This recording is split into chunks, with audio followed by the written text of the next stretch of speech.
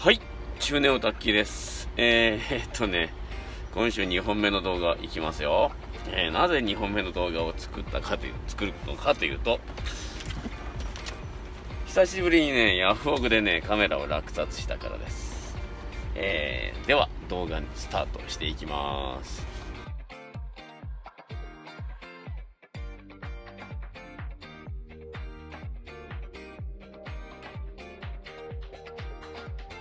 はい、えー、こちらね、えー、っと、完全ジャンク品ということでね、えー、1000円、1000円だったんですね。あのー、ちょっとね、あの変わった、変わったメーカーというか、高級機メーカーなのかな。僕ね、このメーカーのカメラはね、あまり知らないんですね。えー、使ったことがない、えー、マミヤっていうね、メーカーのカメラになります。えー、よいしょ。あけこの野郎。えっと、マミヤのカメラ初めてなんです。初マミヤなんですね。で、動くかどうかも分かりませんが、とりあえず開けていきたいと思います。いよいしょはい、出てきました。よ、今回、この革のストラップが時代を感じますね。で、革のケースに入っています。はい、出てきました。うん。うん。今のところね、今のところ悪い感じはしないですよ。ちょっとね、なんか、なんちゅうですか、手に何かつきますね。手に何かつきます。フィルム質はね、綺麗ですね。ファインダーはね、曇ってます。曇ってますけどね、あの、なんつうんですか、あの、まあ、使えないことはないぐらいのあれですね。モルトはね、意外と生きてますよ。これモルトはこのままで大丈夫そうです。レンズ。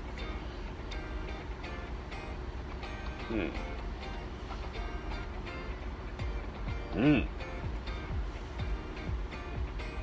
綺麗じゃん。割と綺麗。割と綺麗。えっ、ー、とね、マミヤコミナール F248 ミリ、えー、というレンズがついてますね。これなんていうカメラなのかな？マミヤとしか書いてないです。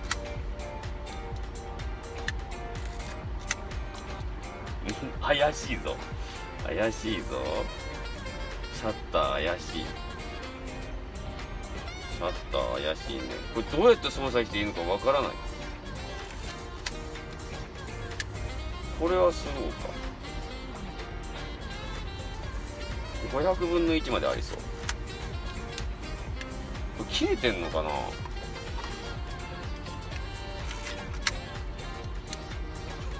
ものすごくシャッター速度が遅いです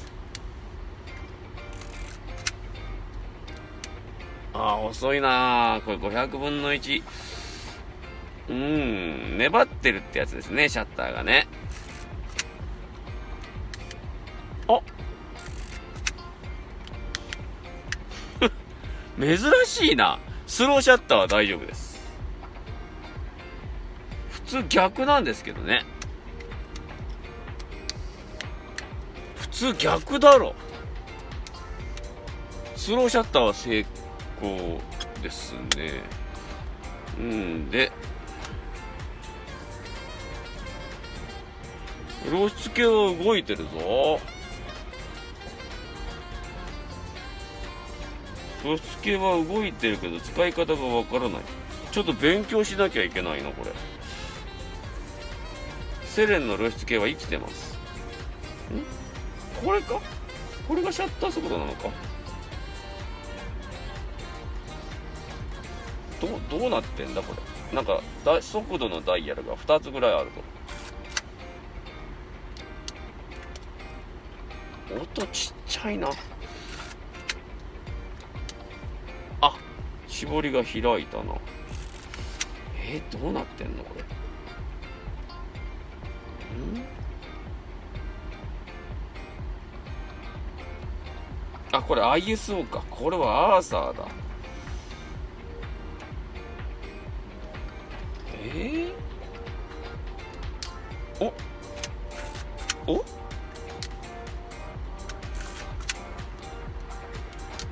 やっぱシャッター速度遅いな。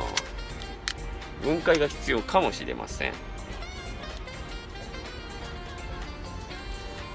れどうなってるんだろうよセルフタイマーもあるセルフタイマーもあるけど。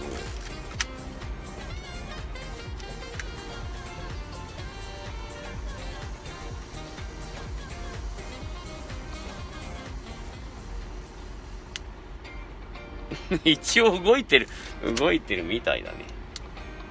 シャッター速度すごく遅いです。このままだったら確実に全部露出オーバーだな。うん。えー、しょこれは、シャッター膜を分解することになりそうですね。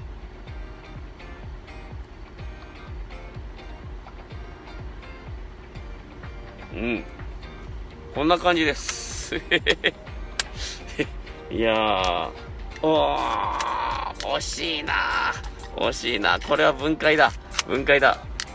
ちょっと、あのー、調べて分解します。えー、今日は、えー、ジャンクカメラの紹介でした。このままでは写真は撮れないようです。露出系は生きてます。えー、露出系は生きてるし、これね、え、露出系の数値が正確かどうかは分かりませんけど、どうやらこれに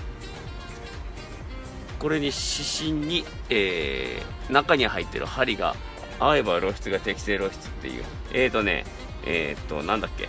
ミノルタのね、ユニオマットと同じようなシステムですね、これね。えー、ただ、えー、うん、そうだね。まさしくその通り、プログラムシャッターです。